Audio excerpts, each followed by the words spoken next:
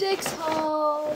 Like promised, I said I was gonna do a haul for my shoes. Oh my god. Okay, so we're gonna start off with the little bag first. It literally only has one thing in it. Okay, so it's a Stanley. I got the purple one, and I used my Visa gift card that I got from my uncle. So I used this, and I paid for it with my Visa gift card.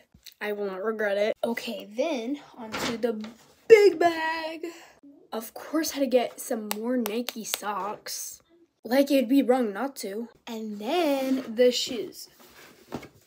Okay, so I thought I was gonna get the ones with the green on it, but I got the white ones. I'm so happy.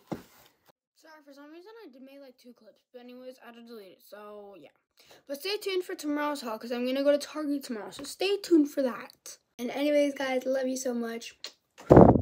Good night.